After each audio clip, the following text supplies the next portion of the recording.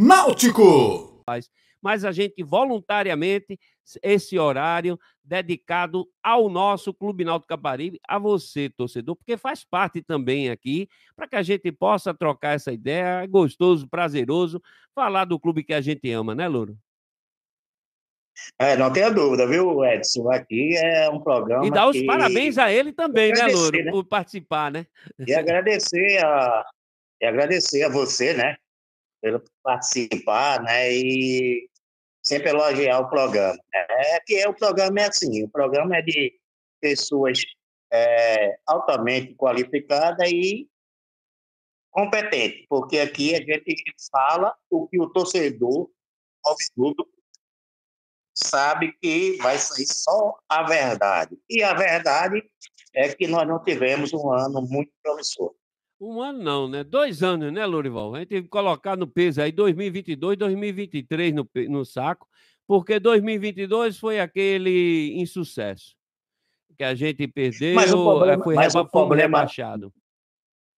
Mas o problema todo, Alexandre, eu falei, um ano promissor, porque o torcedor, às vezes, né, esquece, né? Momento, vamos, vamos focar no momento de, de desse ano, para não acontecer é, a mesma coisa em 2024. Aí, para ele ficar atinado, você tem que falar atual, porque o torcedor alvirrubro, ele quer saber, é sofrido, mas é alegre, é confiante e ajuda. E ajuda e muito, e muito. Agora, você tem que falar o que aconteceu é, eu penso desse jeito. Esse ano, esse ano foi uma catástrofe.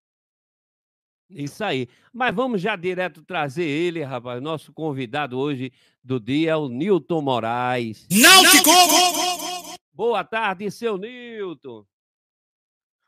Boa tarde, amigo. Boa tarde, ouvintes da Rádio Tropical. Estou à sua disposição. É, doutor Nilton, parabéns aí por unificar aí a oposição que está vindo forte e isso deixa o exemplo para um, um, contexto geral do nosso glorioso Clube Náutico Caparibe, onde a gente abraça a bandeira hoje, a bandeira da paz dentro do clube. Onde pode, essa paz pode existir aí entre a oposição e a situação, doutor? Amigo, é, nós temos um candidato, evidentemente, essa é, a situação, né, no caso que governa o já há seis anos, né? Fez um trabalho, tem seu trabalho, tem seu trabalho registrado, mas entendemos que o momento é de renovação, é de mudança. Então, nós temos um candidato que se chama Dr. Luiz Xavier, que está atendendo todos os grupos de oposição e que é um nome bastante respeitado, certo? Ele já foi diretor da base do Náutico, ele já foi assessor jurídico no Náutico, é conselheiro, colabora há muito tempo e é uma pessoa que é professor universitário. É, isso aí é a apresentação do doutor. duas gestões correta e hoje está representando a oposição dentro do Náutico. Não a oposição ao Náutico, né, que eu não gosto desse termo. Na verdade, nós também não gosto não, também não gosto não. proposta de gestão dentro do Náutico. É uma proposta de gestão. Aí eu concordo aí com o doutor Nilton. Aqui, doutor Nilton, aqui estamos com o Lorival também na bancada. É, em termos assim, é, planejamento, projeto, já tem aí da, da do, dessa chapa, doutor Aloísio? Nós estamos organizando isso, Alexandre. É, evidentemente, toda, toda chapa tem que ter sua, sua proposta de gestão, né? Mas, primeiro, só foi confirmado efetivamente o, doutor, o nome do doutor Aloysio quando o doutor Ricardo Malta declinou de candidatura, né? que seria um nome bastante bem aceito também.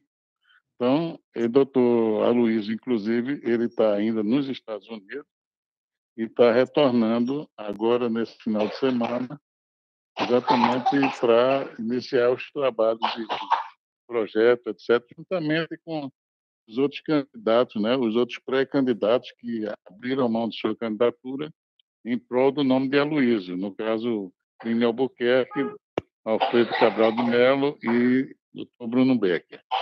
os três abriram mão da candidatura em prol do nome de Aloysio Xavier. E nós vamos fazer esse trabalho de, de, de um projeto de gestão para o Náutico. É, a gente viu aí, abordou essa semana, até fizemos pesquisa também, e surgiu o nome do Edno Melo voltando. E o Edno Mello, agora recentemente, a gente ligando, participando, ele disse não quer mais sair candidato, a não ser que seja é, uma unificação de apoio total para, como se diz, a opo é, não vou chamar uma oposição também, não, vou tentar evitar, porque a gente, quando fala em situação, vou dizer a gestão atual e a gestão querendo entrar. também fica ruim é, dessas duas colocações. Mas aí ele falando aí, que vai sentar também, é, ele falou que até ia sentar com o doutor Ricardo Malta, para daí chegar um denominador ao nome. E pode até surgir mesmo o apoio da situação ao nome do doutor Aloysio Xavier, já que o doutor Ricardo Malta é, não está querendo ser o presidente, devido aos seus afazeres, como também é, o Edno Melo também. Então, existe esse consenso aí, pode chegar esse consenso aí de um nome só. E seria ótimo para o Náutico, evitaria o bate-chapa, que isso aí é sofrível até para o clube, como a gente já abordou aqui na primeira pergunta que fizemos aqui ao senhor. Mas isso aí é, cria é. força, isso aí, de, de, de, justamente com o doutor Ricardo Malta, junto com o Edno lá, sentarem aí os dois e viver uma, uma composição? Não, veja bem, o nome de Edno a gente não vai aceitar, certo? A, a gestão de Edno passou o tempo dele ela se confunde com a de Diógenes.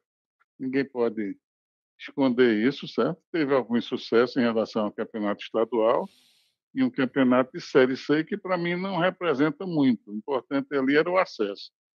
Mas, por exemplo, nesses seis anos de gestão, nós disputamos durante três anos a Série C e no próximo ano vamos disputar novamente a Série C. Então, em nenhum desses anos que a gente teve também na B, a gente ameaçou sequer chegar à Série A, ou seja, a gente não ficou em quinto lugar, em sexto lugar, em nada. Então, eu entendo que é o, período deles, eles cumpriram a missão, é tudo bem, mas o momento agora é de renovação. Sabe? Pode ser com o doutor Ricardo Malta, poderia ser, mas pelo que já ficou claro, ele não, não quer mais, não quer ser candidato. E o nome hoje na pauta é o doutor Luiz Xavier.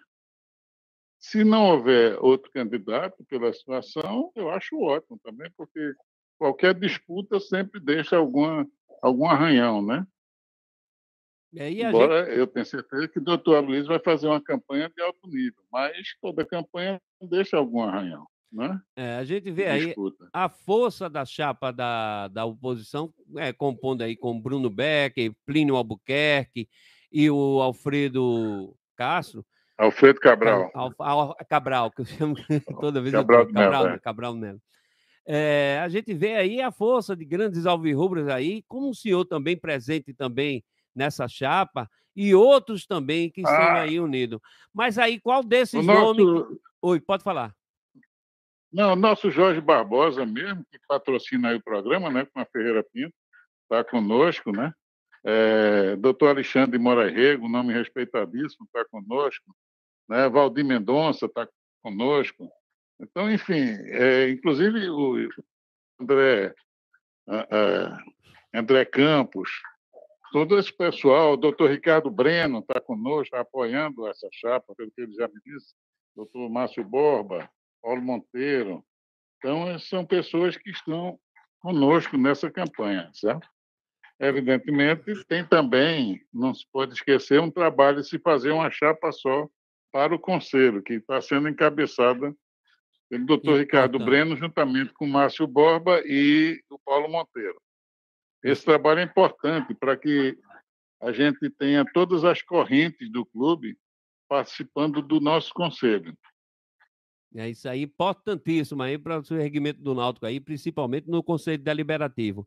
É, aqui tem a, o Francisco Tavares, que é de Vitória de Santo Antão, ele faz aí, mas o senhor já respondeu uma parte é, da, da pergunta. Ele pergunta aqui: o André Campos se encontra nessa chapa e o. Veja bem, não é na chapa, ele está Está apoiando, né? O ministro estava apoiando o nome de doutor Luiz Xavier como, como candidato, certo? Pronto. E a pergunta dele também que é. Ele não está. Ele não e o tá Américo envolvido. Pereira. E ele, Ele disse. não quer se envolver. E o Américo. É, o doutor Américo a gente espera foi, mas ainda não foi, não foi consultado isso, sabe? Pronto, é Fran- Francisco Xavier aí respondido aí a sua pergunta aí pelo Newton Moraes.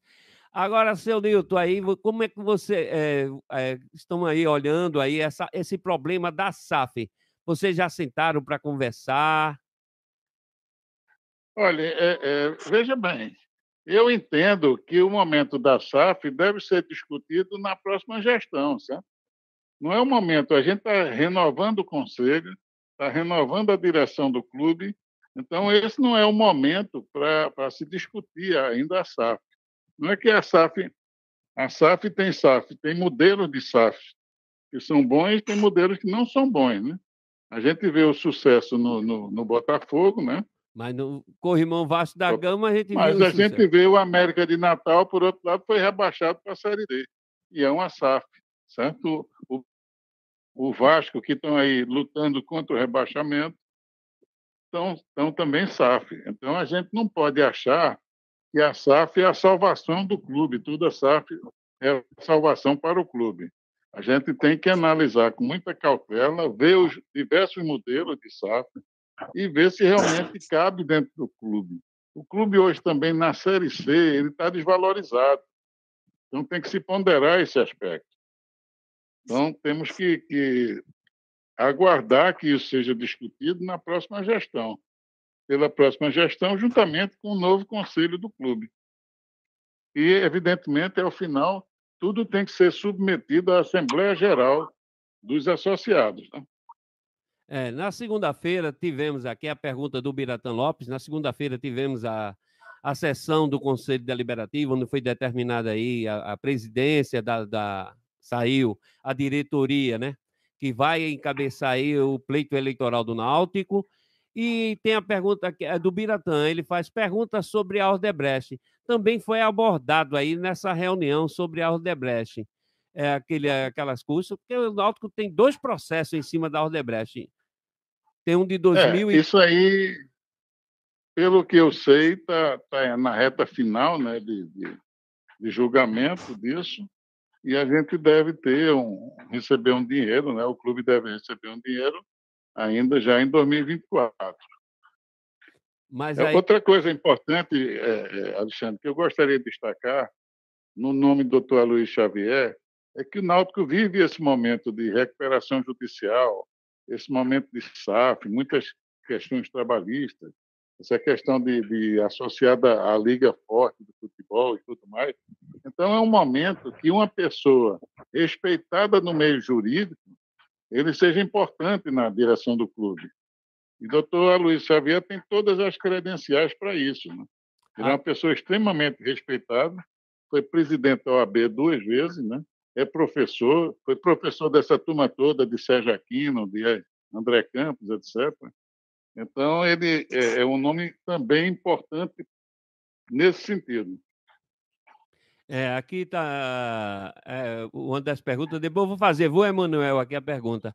Aproveitando esse gancho aqui, que a gente sabe que é, a, a gestão que vai assumir o Náutico para 2024 vai pegar muito resíduo que ficou aí justamente dessa recuperação judicial. E já vai começar a sentar para chamar para negociação. E aí vocês têm aí é, a chapa composta por doutor Aloysio, que o senhor já fez a apresentação dele, acabou de fazer, e tem também o Bruno Beck, também advogado, que já foi vice-presidente do juri, é, jurídico do Náutico, onde foi, fez uma excelente é, gestão junto com o Edno no começo. E praticamente eu não, não via o Bruno Beck perder uma, uma sessão, um, é, um processo, assim possa dizer. É, e que conhece bem o clube também, né? Conhece bem a situação do clube, porque ele esteve lá até pouco tempo. Então, também é importante nesse sentido, né? Então, essa, isso tudo tem que ser visto. É bom lembrar que depois que você faz uma recuperação judicial, depois que ela for homologada, que ela não foi ainda homologada, você não pode falhar. O clube não pode ficar atrasando tudo, porque passa a poder ir à falência um clube. Sabe? Ou seja, você tem que honrar com seus compromissos, todos os seus compromissos, a partir do ponto em que ela foi homologada. É, o Alme é, Wellington Fernandes, ele pergunta aqui, quem será o vice da chapa de doutor Aloysio Xavier? Isso aí, veja bem, no meu entendimento, quem tem que resolver é ele, né? Ele está chegando dos Estados Unidos, vai ouvir as pessoas que queiram, mas a decisão, eu vejo, no meu entendimento, é dele, que quem deve fazer ele, com é. ele, em qualquer que seja a escolha que ele faça.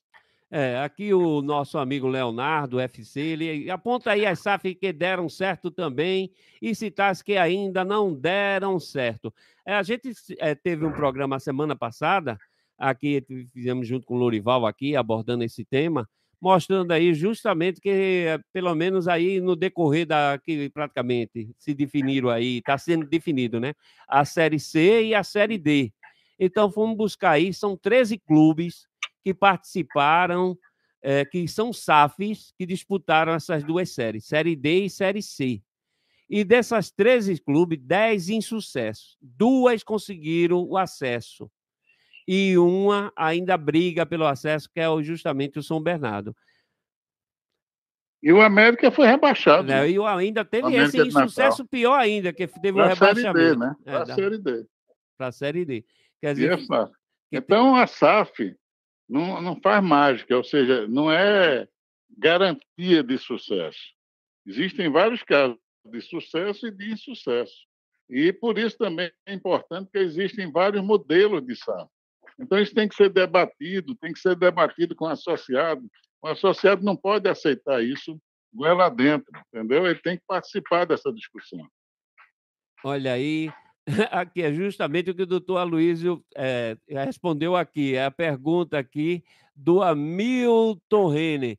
Ele diz aqui, ó, essa SAF só existiu para enricar é, cartolas dentro do clube. Mas não é bem assim, né? Tem algumas aí realmente que seguem. Agora, um bom exemplo, que ele também cita aqui, é o Botafogo, né? É o Botafogo. Mas também temos aí eh, gestões aí que realmente, sem precisar de SAF, estão com, é, com os clubes sempre de pontas. Você vê aí o exemplo do Fortaleza e do Atlético Paranaense, que as gestões colocaram uhum. os pés no chão e não são SAFs.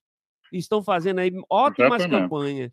Quer dizer, uma boa gestão você ergue. E a gente tem uma torcida que pesa, que chega junto na hora que o clube, é, que ela sente que realmente o clube está precisando, ela chega junto, seu Nico. Não é isso? Sem dúvida, Alexandre. Você tem toda a razão. Você não é, não é obrigatório você ter uma SAF para você ter sucesso. Por exemplo, e está aí o Palmeiras, é o clube hoje mais bem sucedido do Brasil, não é SAF. Não é verdade? Isso. Agora, então, o importante é uma gestão, uma gestão responsável, uma gestão séria, que faça um bom trabalho. Aí eu, eu vejo o torcedor aqui sempre, a única questão é a SAF, SAF. Aí depois, aqui, depois de um ano, vai ouvir o que o Ronaldinho, um fenômeno, disse ao torcedor do Cruzeiro, quando ele comprou o Cruzeiro. Eu estou aqui para ajustar as finanças, não estou aqui para não prometer título. Quer dizer, e o torcedor vai cobrar título? Não, se já foi vendido, se não queria que o clube vendesse, que o Ronaldinho entrasse para pagar as contas, você também não pode existir. É. Mas aí o torcedor vai realmente vai cobrar, que a gente sabe também que o clube, o torcedor do Náutico, ele é exigente e vai cobrar. É, exatamente. Vai cobrar título, sim. Então, é, é, mas isso é, é, outro risco né, na SAF. A SAF não dando certo, é, você não sabe o que é que o, digamos assim, o credor, né, o dono da SAF, eu não gosto dessa, também assim, em princípio, eu não gosto da ideia de o Náutico ter um dono. Também não. Ainda sou da antiga, não gosto dessa ideia. Mas deixo, é, é, não posso ser o que não posso o que é que ver de benefício, sabe? Mas em princípio, é. eu aí uma opinião pessoal, não gosto da ideia de o clube ter um dono, né? Nosso clube ter um dono. Também eu comum com o senhor também, nessa opinião. Porque também a gente usa como exemplo o Atlético Paranaense. O Cruzeiro foi vendido por 450 milhões.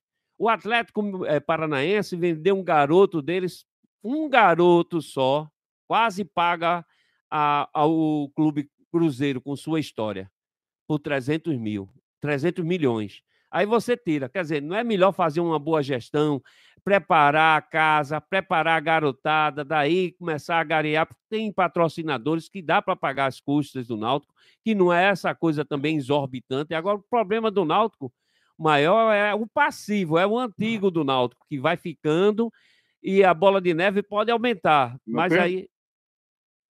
Oi. Não tenha dúvida, Alexandre. Você, tá, você está certíssimo.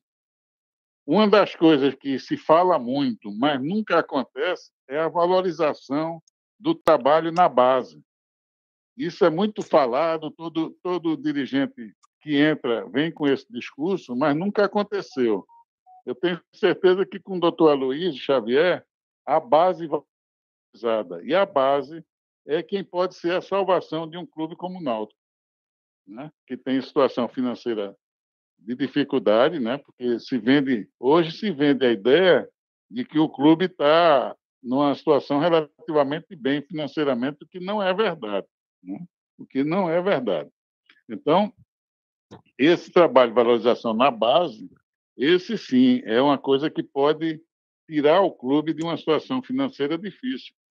Você citou aí exemplo de, de, de ganhos com negociação de jogadores que deram um, um resultado muito bom. Aí você vê, se o Cruzeiro foi vendido por 400 milhões de reais, você imagine qual seria a valorização do Náutico na Série C. O clube na Série C e o Náutico, que de qualquer forma tem uma dimensão menor do que o Cruzeiro. Então, as coisas têm que ser feitas com muita seriedade e com muito cuidado. É, aqui também tem a pergunta do Isnaldo, é, Isnaldo Silva. Ele pergunta aí, e essa história da, é, justamente da Libra e da Liga do Futebol? E aí, como é que vocês já estão observando aí? Bem abordado. Eu jamais aceitaria o Náutico receber 10 milhões agora para ficar durante 50 anos repassando 20% aceita com, com cota de TV para uma empresa. Veja bem, um passo nesses 50 anos na Série A representaria pelo menos esses, esses 20%, representaria esses 10 milhões. Então, não faz o menor sentido, não cabe na cabeça de nenhum alvirrudo sensato aceitar essa, essa micharia que querem dar ao Náutico, para o Náutico ficar é, dependendo durante 50 anos, repassando esse dinheiro, 20% de sua receita com TV para um, uma empresa. Então, eu jamais concordaria com isso. É, outra coisa também, isso aí pesa também, porque a gente vê aí que é esses 10 milhões que o Náutico vai receber, é, o Náutico fazendo até o televisionamento próprio, ou arrendando a outra empresa aí televisiva pode, é, das imagens, ele pode agariar esse valor só num ano. E agora em 50 um anos. Um ano, por exemplo. Exatamente. Você está dando cinco... um ano na Série A representaria em torno de 50 milhões para o Náutico. 20% disso era 10 milhões. Ou seja, se nesses 50 o Náutico passar um ano na Série A, ele vai gastar tudo que recebeu, ele vai para essa empresa. É um negócio que não, não cabe na cabeça de ninguém. E B, com as cotas de Série B, que no mínimo o Náutico passaria boa parte desses anos na Série B, é um, é um valor irrisório, completamente irrisório. Não dá nem para discutir isso. Agora, infelizmente, aí a gente a cota, a gente vê aí o Corrimão aqui, que eu não gosto nem de citar o nome dele, nosso concorrente aqui de Pernambuco.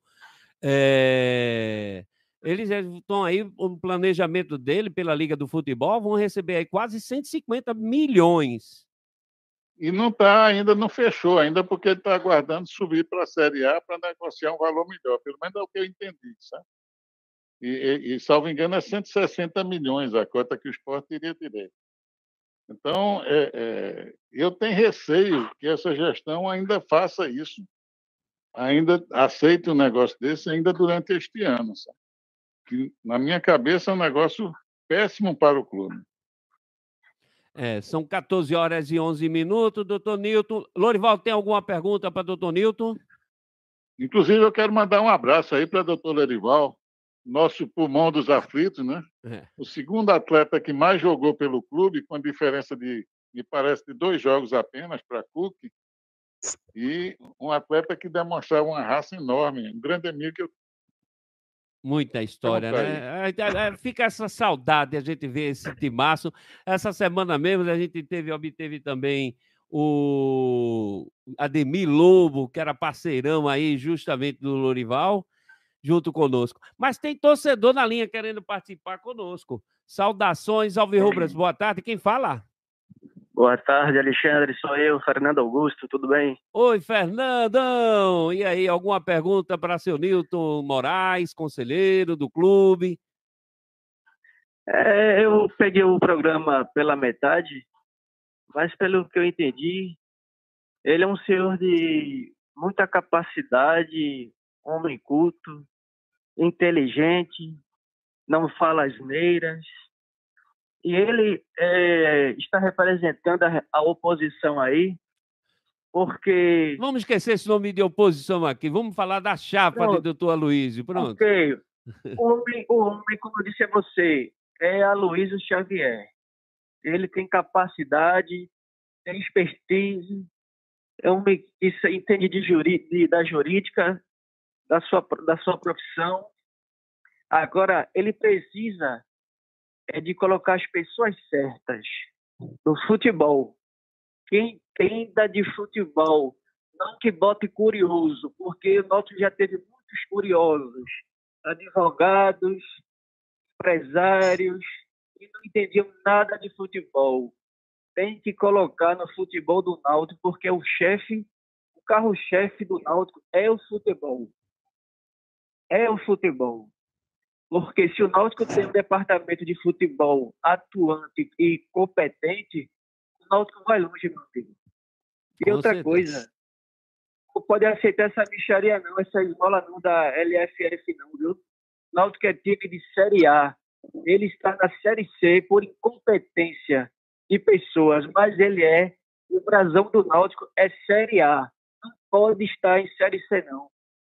Tem que, tem que, ó, o valor do Náutico tem que ser de 90 milhões para cima. É melhor de, de 30, de 25 milhões, não ser coisa de coitadinho, ser time, ser para time do interior de cidade. Náutico é um time da capital, da capital de Pernambuco, de Recife. Náutico é um time grande, e tem que pensar grande. Gigante, eu, eu já chamo gigante, viu, Fernando? Eu fiquei, fiquei muito, muito estressado um, um tipo de rubro desse não pode dar opinião, não. A torcida do Náutico tem que aceitar o Náutico na Série A e pronto, ficar ali entre vigésimo, vigésimo, décimo quinto. Não, o Náutico tem que estar ali entre os oito, entre os seis, entre os primeiros, porque Náutico é time grande, time de massa, maior renda per capita de Pernambuco, quem consome é a torcida do Náutico. Isso é fato. Isso aí, o, o resto é mimimi, é choro. É, entendeu? Então, o seu Newton Moraes, o senhor está representando bem o torcedor do Náutico. Não deixe aceitar essa micharia, não, senhor Newton Moraes. Não deixe. É micharia. Isso é para clube de time de empresa. O Náutico merece ganhar 90 milhões para cima. E olha lá, ainda é pouco. Valeu, Fernando Exatamente. Augusto.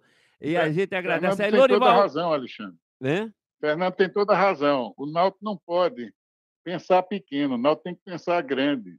O Náutico está se apequenando.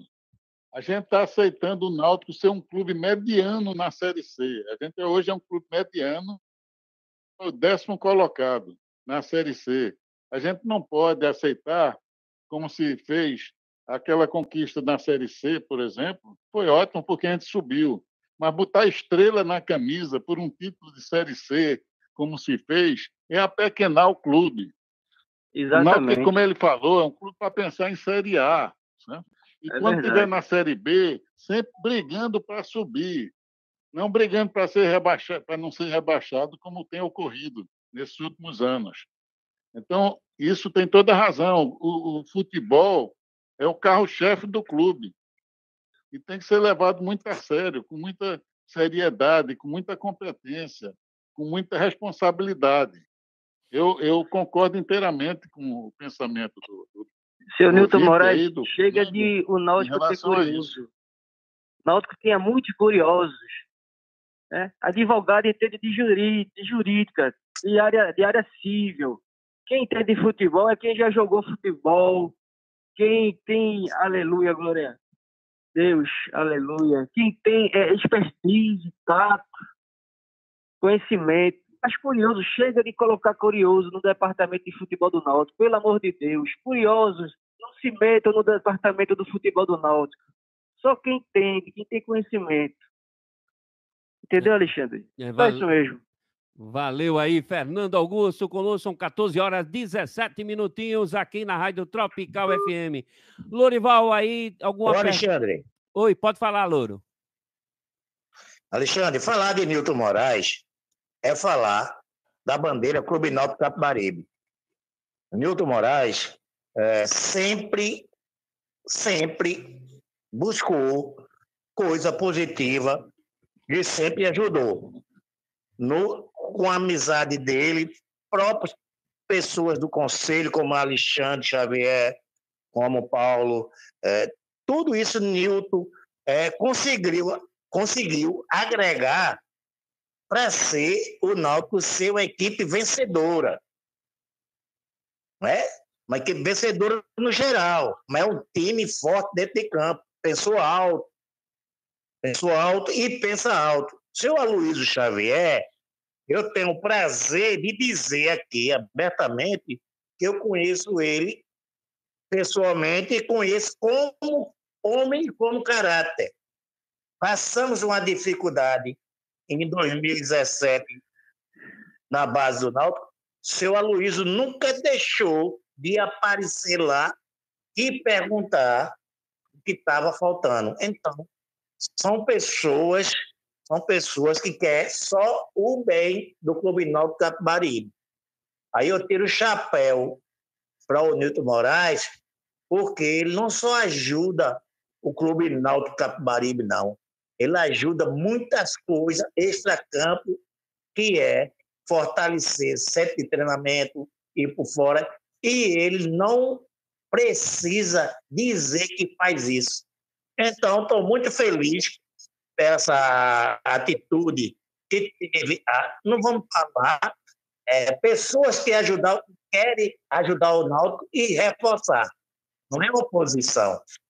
Então, sente, analise o torcedor, analise o sócio, aqueles que dão, está falando o que o Náutico merece. Mudança, sim. Depende agora do sócio e do torcedor. Isso aí, Louro. É, é, doutor Nilton, aí a, a, mensagem que o senhor deixa aí, fina, finalizando aí essa entrevista, para que a gente possa ir aí ao intervalo. É pedir ao sócio que ele acredite realmente que dias melhores virão, certo?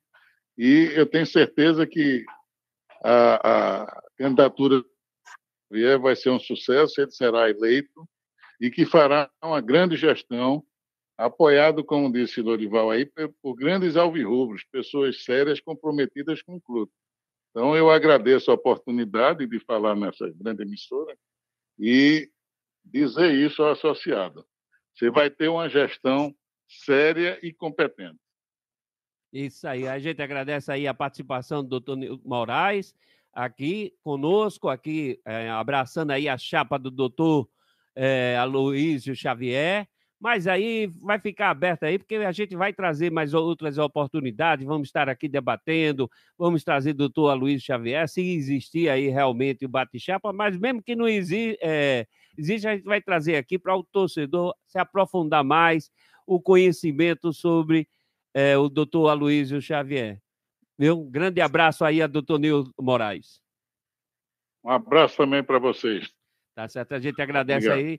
A gente é que agradece. Vamos aqui agora um intervalo ah, interativo e a gente volta já já aqui com o seu programa. Esse sim, veste a camisa. Aqui você tem livre arbítrio de perguntar, de participar, o que você quiser. Tá certo? Porque esse é seu torcedor. Rapidinho, é VaptVupt. Enquanto isso, dá aquele like aí junto aí embaixo na nossa live, também no Facebook e no Instagram. Importante a sua participação. Intervalo Interativo. Tropical. A Ferreira Pinto é pau para toda obra. Em nossas lojas você pode encontrar um amplo estoque e variedade de madeiras, ferragens, máquinas, material de construção em geral e equipamentos de segurança. A Ferreira Pinto é a loja de materiais de construção de todas as torcidas, já que todo mundo gosta de preço baixo. São sete lojas espalhadas nos bairros de Boa Viagem, Boa Vista, Casa Amarela, Encruzilhada, Peixinhos e Prazeres. Acesse nosso site para mais mais informações www.ferreirapinto.com.br. E não esqueça, para construir ou reformar, Ferreira Pinto em primeiro lugar. Náutico! A vida é muito irônica, ela é profética e a profecia sempre vence no final. Um time se dá bem e o outro se dá mal, mas se você profetizou na Bet Nacional, então deu jogo. Na Bet Nacional, deu jogo. Profetizou, ganhou, sacou e a cotação não tem outro igual. Profetizou, ganhou, sacou, saque imediato via Pix bem legal. Profetizou, ganhou, sacou, ai, então deu jogo na Bet Nacional. Profetizar é bom, fazer um saque via Pix é bom demais. Então segue a visão do profeta, que a cotação da Bet Nacional é sem igual. Profetizou, ganhou, sacou, então deu jogo na Bet Nacional.